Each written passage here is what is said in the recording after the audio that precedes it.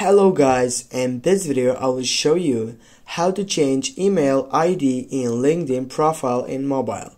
Firstly, land your application and right after that go on your profile section by clicking on your profile photo on your left upper side.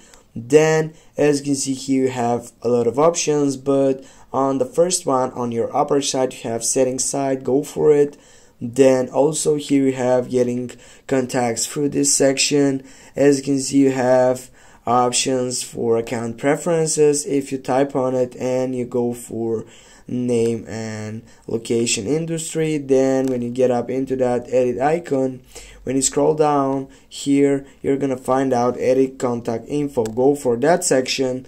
Then when you get up to this side you can go up or you can scroll down by scrolling down you're gonna find out the most important section right here which is email. Go for that email click on that section and here you're gonna find out this section. Now if you want to add a new email address and when you get up and added this email address you're gonna see this type of section on your screen with two emails and it will says that the first one is primary email and as you can see the second one is not.